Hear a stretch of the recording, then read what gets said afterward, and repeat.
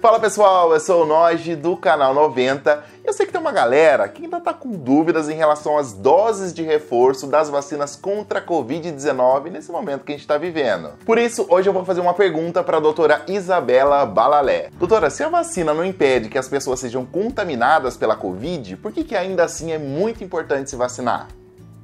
Então, nós, primeiro, obrigada por me receber aqui e dar essa oportunidade da gente falar com todo mundo. Essa pergunta é ótima porque muitos, muitas pessoas que se mostram contra a vacinação, contra o passaporte vacinal, usam como justificativa o fato de que o vacinado não é impedido de, de transmitir, né? Ele pode transmitir.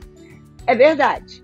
Mas é importante entender, e aí quando você fala de terceira dose, a terceira dose nesse momento, para quem tem a recomendação, é muito importante para uma resposta melhor ainda. Quando eu estou vacinada e pego o vírus, esse vírus, eu vou ter uma carga viral. O que é carga viral? É a quantidade de vírus que eu vou ter no meu nariz, na minha boca.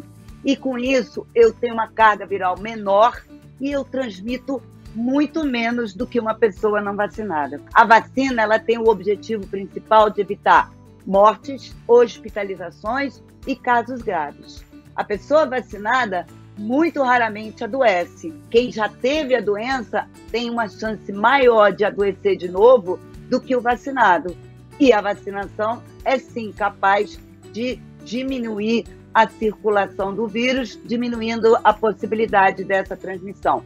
Então, é verdade que a vacina não impede 100% que eu transmita, mas, por outro lado, a verdade mesmo é que eu transmito muito pouco se tiver vacinado.